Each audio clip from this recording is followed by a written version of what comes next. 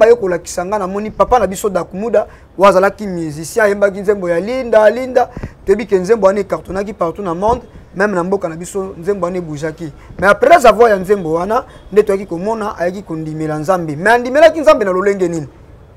ondimelaki nzambe na lolenge nini nzambe aye kolakisa ngai namoni ye na kati ya temple ya eglise osambela pendant que azo prier bazalaki na papa moko ya mokolo natuni papa nzambe papa oyo aza nani pembeni nde bazosambela zamba ayebisa nga ke papa naza papa na ya molimo après namoni batelemi face à face bandi osala neti mwa baechange de parole après naye komona dakumuda azwi bafle azwi micro azwi eloko boye abimi ake nango natuni zamba eza nini nkolo ayebisi ngai boye message nazo transmettre eza très important azonga na makolo ya tata na ye ya molimo asenga bolimbisi parce que abimaki na ndako ya tata ya molimo ya eglise na volonté ya tata na ye te mpe na volonté ya nzambe te azonga asenga bolimbisi mosala nzambe ana koplie mpo na ye mpe nyonso eza toujours na lebon donc baproblème oyo ezokomela yo na monde ya molili parce que kobima na kati ya monde wana eza facile te eza difficile nzambe akolakisa ngai na moni yo na kilote otelemi tolo polele na pembeni ya mai liboso ya mai sirene abimi na mai na nzungu moko boye baosala baseremoni mpo babenda molimo na yo ekota na se ya mai après ave molimo kokota na se ya mai baelimine yo donc menance ya esprit de mort eza epa papa na biso dakumuda ti tokende na décembre ti décembre esila soki erate na décembre ekozala février to troisième mois entre natali makoma aza na vie mokuse hmm? natali makoma natali makoma olanda ngai nayebi te soki ozalaka na france soki belgique soki canada natali makoma nzambe aza na mposa na yo parce que oza servante ya nzambe natali makoma maintenant liwa ya brisque eza liboso na yo ou soit cancer ya makila ou soit cancer ya libele nazoloba na yo lokola l'homme de dieu natali makoma dieu t'aime beaucoup ozalaki na voix kitoko oyembela nzambe mais na momo mpe meme voix yango eza deja ya kobeba donc bisika oyo yo ozalaki mpe signature oyo osignaki nzambe amonaki na place ematisa yo tala nde lelo ekitisi yo nzambe aza na mposa na yo natali makoma kimia mais lelo soki mboka eza na kimia te yo moto ozolanda biso na poto yo moto ozolanda biso partout na monde entier okomona biso te po motu moko akobima te tozokobanga baobeta masas baobeta bagaz donc moto akobima aza te yango tozwa ata osambela parce que makila ezali eza entre bango na bango bapoliticien baotutisa sikoyo population mitu donc nazoyebisa na bana nzambe nyonso tozala toujours prudent parce que mabe eza liboso mabe eza ya makasi liboso ah oui avant nanu kutu élection eza na baeffet moko ekoya wana bamoma bacampagne wana eza na baeffet moko ekoya wana oyo akozala faible oleka alors yo mpe motu oza na ndeko azo postule ata na députation ya pamba sala attention bokota baprière parce que mingi na moment oyo na biso bandako ya nganga basi balembi bango kutu na moment oyo tozali eza bapoliticien ebele bakoti baloge basigne babiki rouge alors bino bandeko ya bapoliticien wana bozala na baprière jeune garçon moko soki otali ye bogar ake kolinga mwana moko boye ya 20 ans aza na mpe jeune garçon mpe jeune fille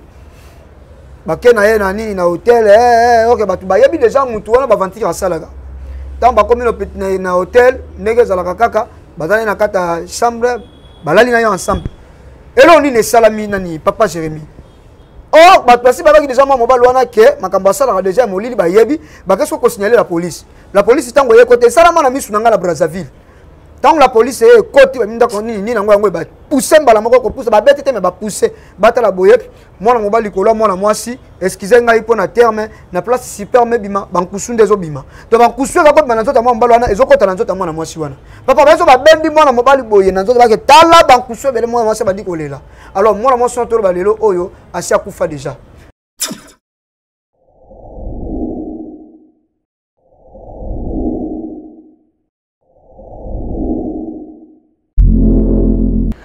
Voilà, merci et bienvenue, chers amis téléspectateurs. Shalom à tous les chrétiens. Nous voici devant vous, euh, Jérémy Lembal et Rénard du désert. Un clin d'œil spécial à tous nos abonnés ainsi qu'à tous nos partenaires. Les célèbres Dien Zundun à Washington, le président Pedro Moutou, leader à jeunesse, association, main dans la main depuis la ville Fontaine et aussi partout en France. Voilà. Euh, il y a un national depuis Mouchingla bah, en Allemagne. merci encore une fois à tous ceux qui nous soutiennent de loin tout comme de près. Que Dieu vous bénisse. Euh, J'ai ce le plaisir de recevoir pour vous le jeune serviteur de Dieu, prophète euh, Grady, qui revient on va essayer de parler sur euh, tout sauf rien l'homme de Dieu merci d'être là merci papa Jérémy bonjour papa bonjour papa Jérémy merci papa Jérémy nakosepelaka bible ezoloba na moment nyonso tu baoyo ya nzambe bakutanaka mpona kocelebre nkombo ya nzambe to koloba eloko moko na part ya nzambe il faut kopesa nanu nzambe merci mm. parce que toyebaki te ke tokolamuka ntango tolalaka toyebi ke tolali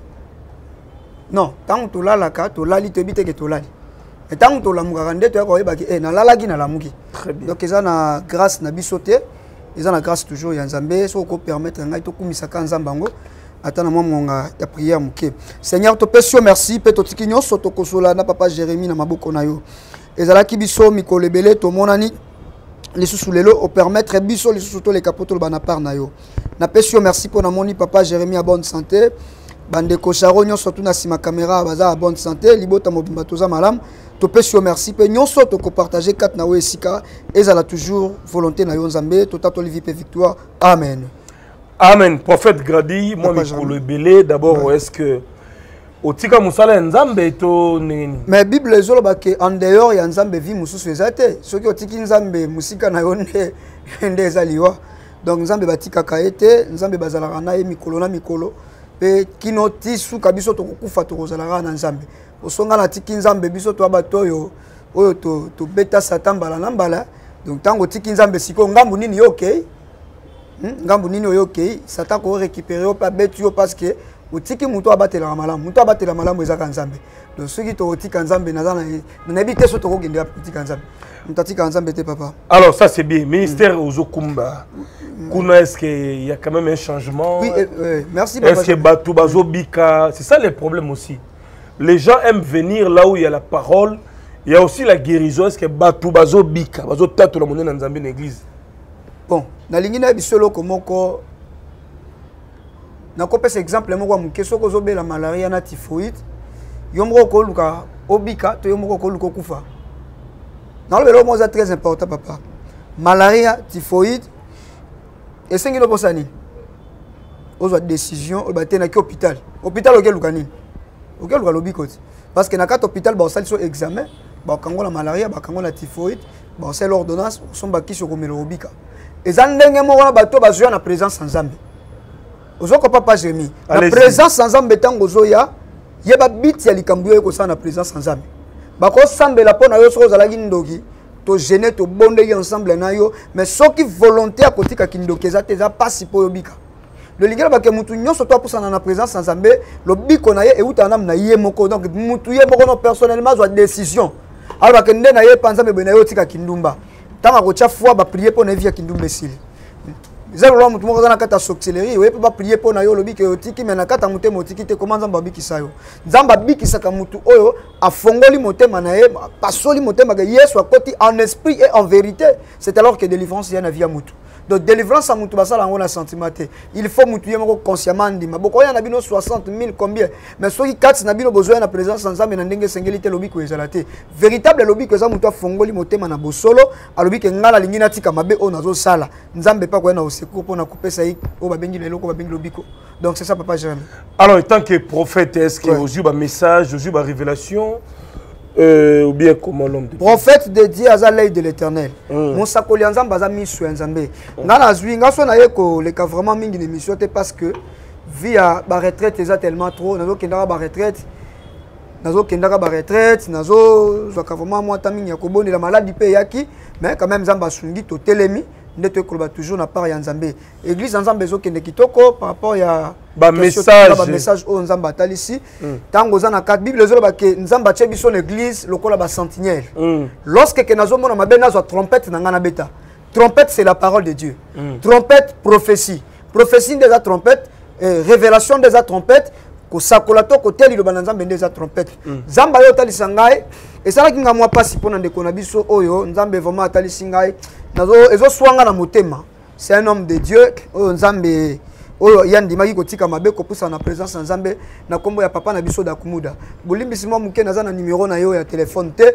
euh, soki nzambe asali ngolu ke nakutana ata na moto ana nimero na ya telefone akopesa ngai na kobenga yo nzambe aye kolakisa ngai namoni papa na biso dakumuda oyo azalaki musicien ayembaki nzembo ya linda linda toyebi ke nzembo wana ecartonaki partout na monde meme na mboka na biso nzembo wana ebujaki mais après avoir ya nzembo wana nde toyaki komona ayaki kondimela nzambe mais andimelaki nzambe na lolenge nini ondimelaki nzambe na lolenge nini nzambe ayaki kolakisa ngai namoni ye na kati ya temple ya eglize osambela pendant que azo prier bazalaki na papa moko ya mokolo natuni papa nzambe papa oyo aza nani pembeni ne bazosambela nzambe ayebisanga ke papa naza papa na ya molimo après namoni batelemi face à face bandi osala ndeti mwa baechange de parole après naye komona dakumuda azwi bafle azwi micro azwi eloko boye abimi ake nango natuni nzambe eza nini nkolo ayebisi ngai boye message nazo transmettre eza très important azonga na makolo ya tata na ye ya molimo asenga bolimbisi parce que abimaki na ndako ya tata ya molimo ya eglise na volonté ya tata na ye te mpe na volonté ya nzambe te azonga asenga bolimbisi mosala nzambe ana koplie mpo na ye mpe nyonso eza toujours na lebon donc baproblème oyo ezokomela yo na monde ya molili parce que kobima na kati ya monde wana eza facile te eza difficile nzambe akolakisa ngai na moni yo na kilote otelemi tolo polele na pembeni ya mai liboso ya mai sirene abimi na mai na nzungu moko boye baosala baseremoni mpo babenda molimo na yo ekota na se ya mai après ave molimo kokota na se ya mai baelimine yo donc menance ya esprit de mort eza epa papa na biso dakumuda ti tokende na décembre ti décembre esila soki erate na décembre ekozala février to troisième mois entre deuxième mois to troisième mois nazotalisa message eza très important donc, naza... donc si je comprends mieux dakumu na un problème ntango abongoli motema epai ya tata na molimo mm. après mikolo bakabwanaki mabe nzambe ata soki bakabwanaki mabe ya te wewe ah, mais abimaki na ngonga ya nzambe te voilà siko fo nzambe esika fo azonga na makolo ya papa wana eza message moko eza clé nayebi na bon dakumuda de loin namona ye mosika boye nazwa ata kovanda na ye te mais makambo nazoloba eza très très important mm. ndenge oza wana nzambe abisi ngai na biso ke obebana na paster na molimo ok paster molimo wana c'est un homme de dieu oyo abangaka nzambe na kati ya mboka oyo nayebi ye te mm. nayebi ye te nayebi ye te nayebi ye te obimaki na ndenge ya mabe te ozalaki na bagarde four te ya moment oyo ke likambo ekokomela yo bagarde four wana esécurité esécurise yo garde four wana tozoba nini prière ya makasi ozomona prière ya makasi na mondo oyo asi azalaki déjà a motu moko bakopesa lisusu accès te to mpe porte d'entrée te meme na nzela kosilika meme na nzela eloko moko parce que baluka bayina cheveye dede natali makoma aza na vie mokuse hmm? natali makoma natali makoma olanda ngai nayebi te soki ozalaka na france soki belgique soki canada natali makoma nzambe aza na mposa na yo parce que oza servante ya nzambe natali makoma menance ya liwa ya briske eza liboso na yo ou soit cancer ya makila ou soit cancer ya libele nazoloba na yo lokola l'homme de dieu natali makoma dieu t'aime beaucoup ozalaki na voix kitoko ayembela nzambe mai na momo mpe meme voix yango eza deja ya kobeba donc bisika oyo yo ozalaki mpe signature oyo osignaki nzambe amonaki na place ematisa yo tala nde lelo ekitisi yo nzambe aza na mposa na yo natali makoma nzambe ana mposa na yo oza servante ya nzambe zongela nzambe na molimo mpe na bosolo avant ekoma tard parce que namoni natali makoma na kati hôpital bazozongise bamakila bazozongise mai imageke mokolo bakende ozongise makila soki ozali ya mokolo bazongise makila ezalaka déjà risque entre la vie entre la mort donc nzambe alingaka yo natali makoma oza na espace moke mpe bata moke ya kovivre je parle tant que l'homme de dieu tosakolaki awa conseil ekobetama na terre na nini na, na, na stade de marti bato bakende te ya kofinga bafingaki biso bandi obenga papa jérémi zela okomona babengi ngai azela okomona o oh, makambo moto omonaki na stade ke milimu makila stade eza bien travaille moto nyonso ata kokɔta na stade so aza na nzambe te akokufa bato batyaki tembe yango wana bakufi eza lokola ata noa noa azobelela boya totonga arche tokɔta boya totonga arche tokɔta baboyi yo momeli masanga nani akoyoka yo mais bible aye koloba ke après asisi kosala nini wana nzambe mise kanga arche akangi sor nango eyaki nini mbula ebetaki bato bamelaki bamai bakufaki bamosusu babetaki babe noa oza bana mosali ya nzambe ya solo bon ata obengi ngai na mosali ya nzambe ya solo oflate ngai na maloba esimba so te parce que nzambe nde esinga nakanga porte il est temps nzambe azoloba avant nzambe akangela bino porte boyeba nzambe wana aza na mposa na bino mpe alingaka liwa ya moto ya masumu te se repentir sincèrement nathalie makoma nzambe abikisi parce que cancer ya libele nazomona lisusu na cancer na diabète sucre nathalie makoma esi dit l'éternel vas-y papa jérémie voilà merci beaucoup l'homme de dieu pour na barévélation mm. donc omoni dakumuda newman euh, pasteur christian il faut abongisa comportement na ye abongisa etambolili na ye na papa molimo na ye mm. pour que azala sous la protection divine oui. omoni mpe natali makoma donc euh, cancer ya libele epuis secret donc euh, esprit de mort eza koluka ye opération tout ça natali makoma natali makoma na baopération na baopération tolekaka na plateau mpo nasala bato plaisir te donc azali entre la vie la mort hein? c'est sérieux makambo nazoloba entre mm. liwa to bomoi mm. natali makoma parce que namoni même opération bakoluka soki namoni wana kota opération soki basala yo opération te sambela nzambe c'est le temps diable azolukola bafaçon parce que namoni yo na esika moko ya molili ya bien te nzambe alingi yo mpe alingi abimiso na esika wana alors mpo na congo omoni eloko te mpo na congo namoni eloko parce que makila ekozotanga makasi na mboka wana moma baélection après élection après élection makambo ekozala cho ya kosakana te alors nazoyebisa na bana nzambe nyonso tout oyo eza mboka na biso soki kimia eza te na mboka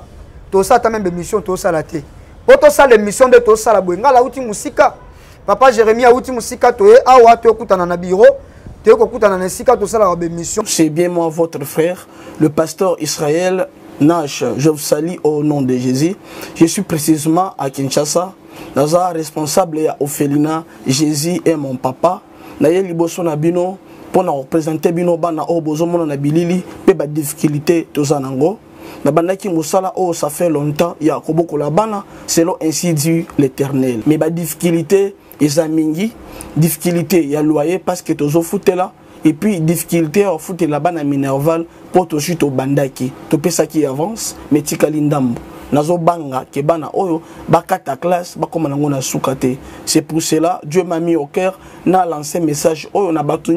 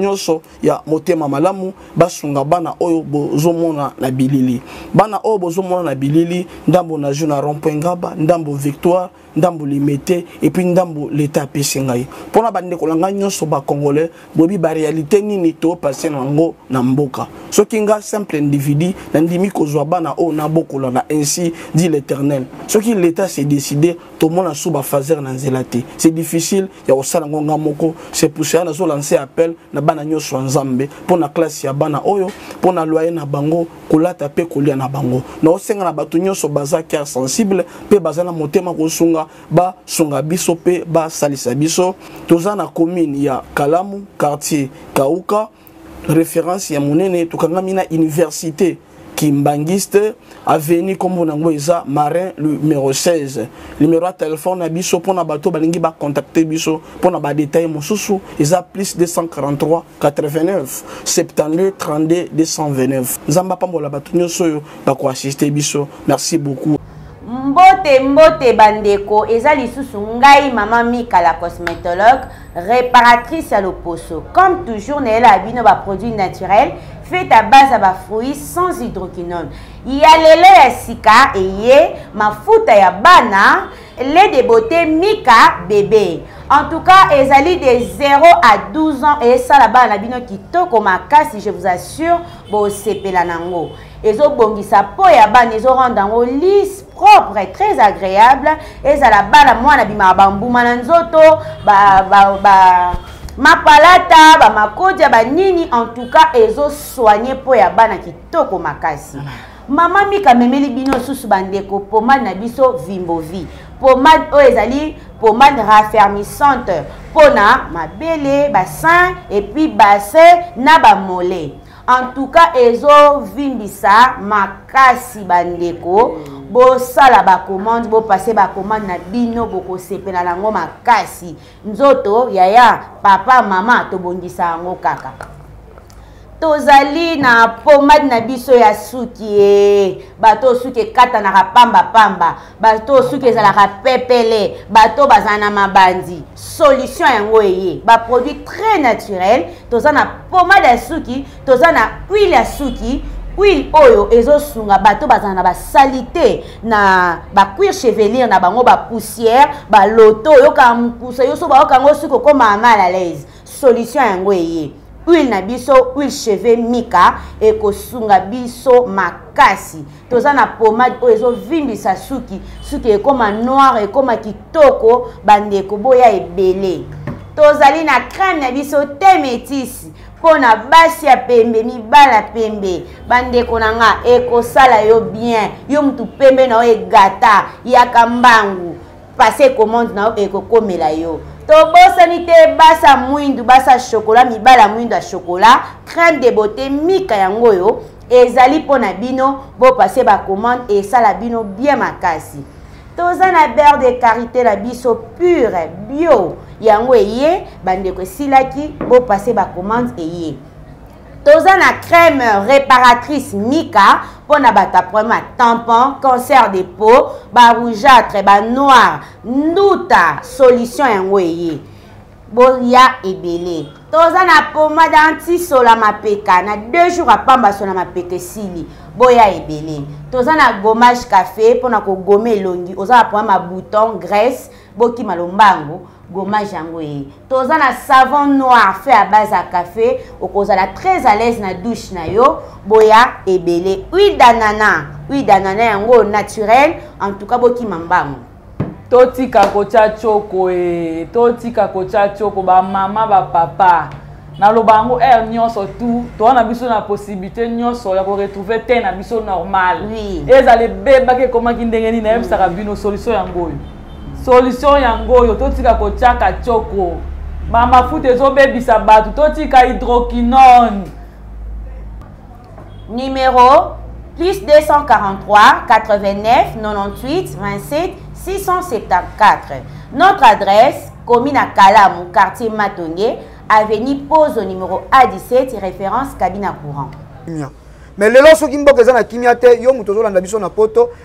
yo moto ozolanda biso partout na monde entier okomona biso te po motu moko akobima te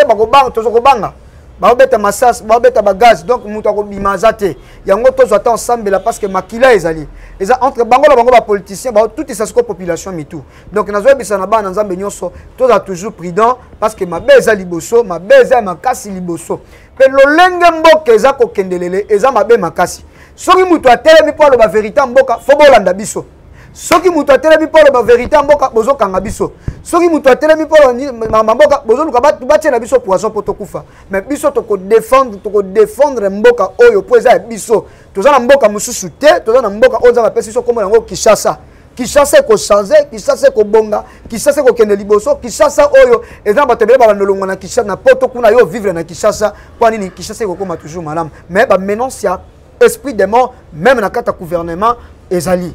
entre bango na bango bamenance ya poison entre bango na bango komekana baforce na ndenge ya molili wana etali biso te biso etali biso toza na mposa ke mboka oyo echange bato oyo nyonso tu baza kotema lokola badongolo miso ya mboka na biso zamba asa charge na bango parce que kimia soki eza te bato bakobima te bakoke misala te bato bakoteka te bato bakolamba te bakolia te parce que kimia eza te donc c'est ça papa jérémi alors en d'autres termes tokoloba ke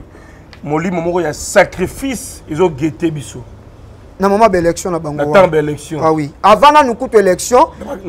eza na baeffet moko ekoya wana bamoment bacampagne wana eza na baeffet moko ekoya wana oyo akozala faible oleka alors yo mpe moto oza na ndeko azopostile ata na députation ya pamba asala attention bokota baprière parce que mingi na moment oyo na biso bazo donc bandako ya nganga basi balembi bango kutu na moment oyo tozali eza bapoliticien ebele bakoti baloge basigne babiki rouge alors bino bandeko ya bapoliticien wana bozala na bapriere bino bamama boboti bana na bapoliticien bozala na bapriere parce que sacrifice ezali azoluka aleka mosusu azoluka koma ministre mosusu azoluka koma député mosusu azoluka koma nani molimo sacrifice etema makasi na bamabota il faut vraiment bosala très très très très attention alors surtout na makango ba politicien surtout na makango ba oui mais mm. tozoloba makambo eza ya solo mm. azwi ata bimi na yo sema so akotika na nzoto na yo oyebi te yo mwana 15 ans 18 ans 16 ans 17 ans 20 ans tata moko mokolo akobenga yo likolo ya 100 dollar ake abimi na yo oyo ye atiki na kati ya nzoto na yo yo oyebi yango oyebi yango te en réalité de l'homme c'est l'esprit nyonso ebandaka na molimo avelata nzoto ntango akotisi nzoto na ye na kati ya nzoto na yo semasi nini oyo atikeli yo esalamaki na brazzaville na miso na ngai jeune garçon moko soki otali ye bogar ake kolinga mwana moko boye ya 20 ans aza nde mpe jeune garçon ye mpe jeune fille bake na ye na nini na hotel eh, eh, eh, oke bato bayebi deja motu wana bavantire asalaka ntango bakomi na hotel ndenge ezalaka kaka baza ne na kati ya chambre balali na ye ensemble eloko nini esalami nani papa jérémie or oh, bato basi babaki deja mwa mobali wana ke makambo asalaka deja ya molili bayebi bakesi kokosignale la polise la polise ntango eye kote esalama na misu na ngai na brazzaville ntango la polise eye ekoti babi ndako nini nini yango yango ebapuse mbala moko kopusa babeti te me bapuse batala boye mwana mobali likolo ya mwana mwasi eskize ngai mpo na terme na place superme ebima bankusu nde ezobima to bankusu eza kobima na nzoto ya mwana mobali wana ezokota na nzoto ya mwana mwasi wana papa baezo babendi mwana mobali boye na nzoto bake tala bankusu ebele mwana mwasi abandi kolela alors mwana mwasi wana toloba lelo oyo asi akufa deja nazoyebisa bino makambo eza ya solo yaya okoteka vi na yo mpo na 100 dollar problème eza te ozoteka vie na yo mpo na android ozoteka vie na yo mpo na iphone mais yeba yango vie ya moto eza kaka moko lorsque ke ozo vivre na sia mabela mokili oyo soki okufi esi esili me ya mibale deuxième vie oyo biso tolobelaka eza vie ya royaume de sie ya bokonzi ya nzambe estce makambo oyo ozosala wana bato oyo ozobima na bango bato oyo ozokuse na bango etadame na bango ozoyeba misusu baza koetufe betoile na bango Hein? oza moto ya étoile mais une fois que okuse na moto oyo aza moto ya ngambo amanda molili directement abloke étoile na yo omona le mosusu na moma na yo ozopusa na age mpe ezokende na place osala bamakambo abe makambo abe eza te libala ya libala ya te yo jeune fille kitoko sokomi na bana mibale misato na lopango ya famille ya mama na yo na lopango ya koko na yo nde oza wana oza deja na bana misato 4 5 nazotalisa na bana nzambe il est temps que toluka nzambe tobima na kati ya distraction parce que na kati ya kinshasa distraction eleki trop makambo etika komi na kinshasa masanga oyo etikali na kinshasa yango wana masanga musique bale eh, eh, donc babuzo baka ko etikali nde yango wana me ngai nazozongisa conscience ya mwana na nzambe moko il est temps ngai na yo totelema toprie mpo na bavi na biso tobrise babiloko basala na kati ya bomoi na biso babiloko balona na kati ya nzoto na biso toyebi te eza makambo mosusu yo ozosala ezosimba te parce que obimaki na papa moko ya mokolo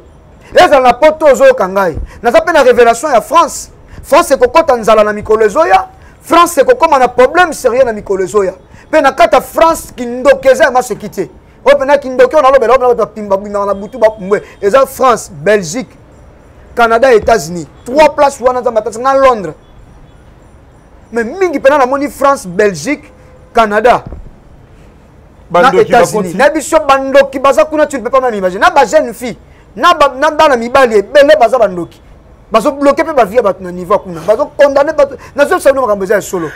bato baza na kati ya biloko wana eza mpe na bafamille mosusu baza na bana bango boza na kati nde boza wana boza na baproblème très sérieux babebisela bino bana bana tala mwana no soki abebi yebaka evi na yo ebebi soki mwana azwi sorcellerie yaya ata oza kosala mosala yango ozozwa mbongo ebele wi obanda osala nde ozozwa mbongo ebele mais mbongo yango ndenge ebanda osili obanda ocomprendre te parce que mwana wana aza na contrôle ya nyonso mpo atyeli yo bacaméra na ndenge na niveau ya mosala na babanke okendaka kozwa mbongo nazoyisa motu mwa likambo eza ya solo nzambe atye ngai liboso na bino na ntongo ya lelo mpo naleka na nzela media nalobela bino yo moto omoni te na kati ya famille ozovivre mwana azoko lisusu te akomi impoli plus plus mwana aza na sorcellerie boza wana mpe boza na bana kindoki boza bene mibali ya kindoki oluka delivrance na bango bapaster akuna bazali me bana makasi te bao ba makasi baza ya mingi te bapaster oyo baza na poto mingi oyo bazalaki azalaki paster azobanga nzambe tusa me ntango akomi kuna alongwe ne paster akomi payen bapaster mosusu mpe baza kuna baza donc onction mpenza eza te aza na ye paster me aza na onction te awa onction ezali awa manque na ezali meme ata kuna mpe ba pasteur ya bien baza na utolo ya bien bazali mais baza muke par rapport ya biso na Kinshasa mm. nazo biso makambo eza ya solo eh. omoni na ba profondeur wa biso tokotaka bango baza so ba profondeur wana te parce que biso tokendaka zamba ti lelo elingi bateke so moto ake zamba nde aza na profondeur soki nini te parce que bebe bakende mpe zamba kuna bafrère na bapaster bana bata basi misusu bamena bazemi ozo comprendre mais mutu oyo ayebi objectif mpe but ya likambo yako esala na ngomba eza kaka mpo na koprie milimo na bato ebika nzambe na likolo atya nga point mpo un jour nga mpe nakota na bokonzi na ye nde yango ozomona bongo eza na bato ebele bozovivre na kati ya ndako na bana baza na kindoki mosusu boyeba te mosusu mpe boyeba soki boyeba to boyeba te ngai nakopesa basini oyo elakisaka mwana aza ndoki me na basini nakopesa yo kokanga maboko te kotala ngaka ndenge ozotala ngai te yoka esuka mpe nakoyoka te benga nga na nimero na nga ya telefone nakopesa badirective lolenge nini okoki kosala mpo tokɔta na seance ya bapriere mwana wana akangolama parce que mwana wana soki akangolami ekozala lipamboli mpo na yo papa ekozala lipamboli mpo na yo mama parce que bana baza lipamboli kowuta epa nzambe eza kaka na bato bazali kosepela na yo te balobi babebisa ata bana mpo na nzela bana bazwa yo okoma wana maladi lelo olobi bien place maladi ezowuta oyebi te le mosuka mwana noza na ye na ndako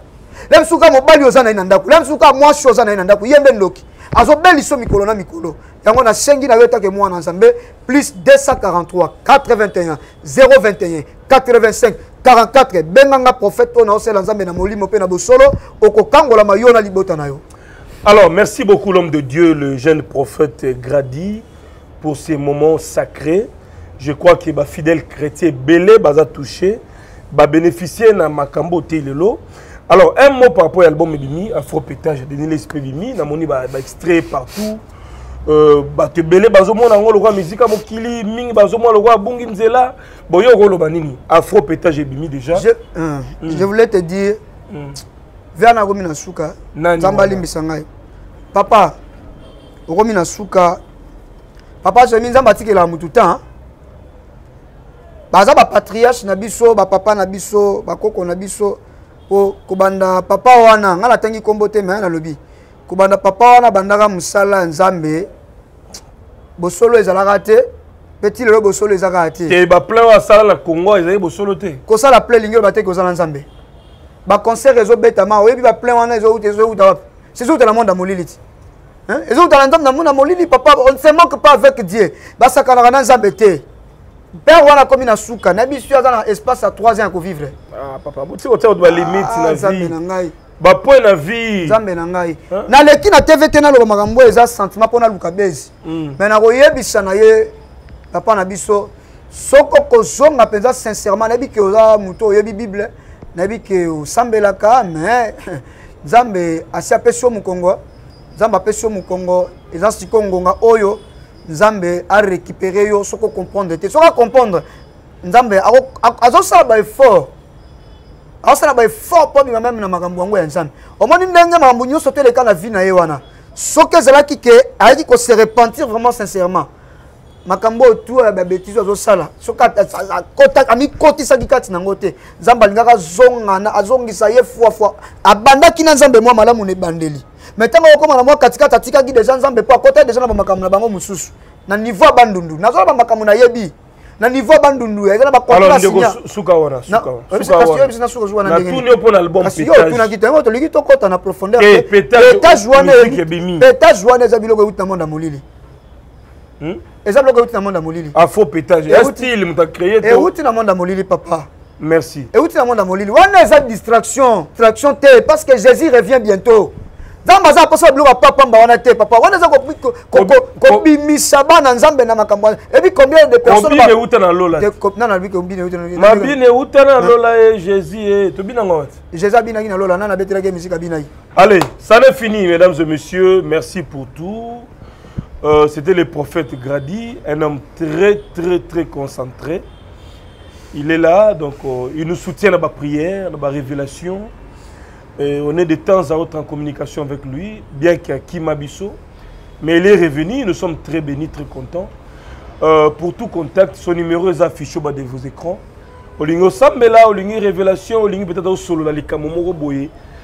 Et concernant la spiritualité, benga ye, kotala âge na été, kotala mukuse na été. Il est fort en prière. Merci papa, merci pour tout. Euh, peut-être un mot na motoyo aza bloqué na famille lien condamnation moto azo banga bandoto mabe moto ako peut-être délaissé à perdre espoir okoyebisa ye nini merci bien aimé partout dans le monde basi mpe mibali bapapa bamama oyo bopesa biso confiance na kolanda biso na na kolanda biso na équilibre ya tv chaîne oyo eyebana mokili mobimba chaîne oyo etalamaka partout papa jérémi chaîne oyo eza kitoko makasi bon nakotalisa na mwana nzambe moko baproblème oza na yango eleki yo kasi eleki nzambe te bitumba oza na yango eleki yo eleki nzambe te badifficulté oyo oza na yango lelo eleki yo kasi eleki nzambe te oza wana oza na problème ya mokanda banda okenda mpo tozwa mokanda te eza mpe na motu mosusu oza na poto mai olala ozaka olota ndoto olotaka kaka oza na kinshasa mosusu mpe awutaki bandundu ayawa ke poto mai alotaka kaka aza na bandundu na kati ya zamba yaya seke molimo na yo eza ya kokangama quelque part moye oyo avance kozala te eza na motu mosusu ozwi mobali lelo boza bien lobi mabe ecomprehension moke lelo eza bamaloba mosusu oyo olobelaka mobali wana ntango olobela mobali wana yo moko ozomona maloba wana eza bien mai ok maloba wana ezokende koblessir motema mobali wana yango ezopanza famille ezopanza foyer moye mobali wana abala yo eza te kaka mwa mwasi wana azalaka impoli ma eza nango yo te eza kaka baesprit eye ekoti kati na yo makambo baesprit wana sikoyo ebandi kosala meme yo moko sans le savoir ozoyeba yango te bien aimé dans le seigneur je suis prophète de dieu plus 243 81 021 85 44 ça c'est mon numéro plus 243 421 021 85 44 oza na problème ya mosala oza na problème ya santé sucre ya diabete oh, fo basala opération benga ngai na numéro oyo tokosola nyonso eza toujours dans le bon nalingi nasambela mpo na motu moko azolanda ngai oui seigneur topesi yo merci bible elobi ke ebandeli mpe suka eza yo nzambe oyebi baproblème oyo bandeko baza na yango pesa solution na baproblème na bango bundela moko na moko bitumba eleki makasi longisa papa totatoli vi mpe victoire bandeko oyo nyonso balandi biso esuka na kolanda te esuka na koyoka te zambe esimba mitema na bango babenga mpe na nsima kobenga tolanda bavi na bango obikisa bango à travers na biso totatoli vi mpe victoire tolobi bongo amen que le seigneur vous bénisse